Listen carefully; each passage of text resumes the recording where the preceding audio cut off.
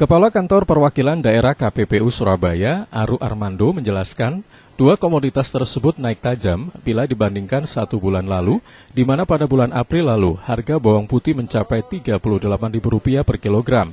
Namun di beberapa pasar ditemukan harga beragam hingga mencapai Rp60.000 per kilogram. Begitu juga dengan harga telur. Pada April masih sekitar Rp16.000 per kilogram, namun saat ini sudah menyentuh Rp22.500 per kilogram.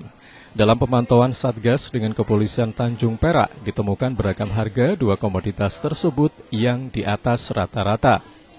Sebenarnya tidak sulit untuk mencari penyebab naiknya harga bawang putih dan telur, salah satunya dengan sistem hulu sampai hilir, di mana KPPU akan memulai investigasi dari importir bawang putih di Surabaya.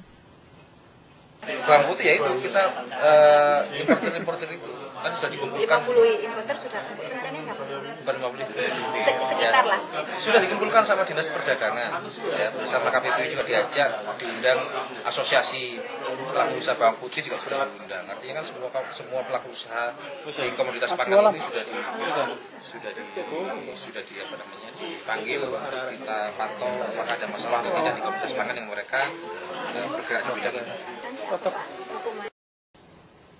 Aru menambahkan bahwa impor bawang putih berasal dari Tiongkok, India, dan Thailand dengan pemusatan penyalurannya di Surabaya. Pihaknya sudah memiliki data importir khusus bawang putih. Sementara telur ayam kebanyakan produsennya dari Blitar, karena itu akan dilakukan investigasi ke hulunya terlebih dulu. Ditargetkan sebelum Ramadan sudah diketahui penyebab naiknya dua komoditas tersebut. Dari Surabaya, Eko Widodo, Arek TV melaporkan.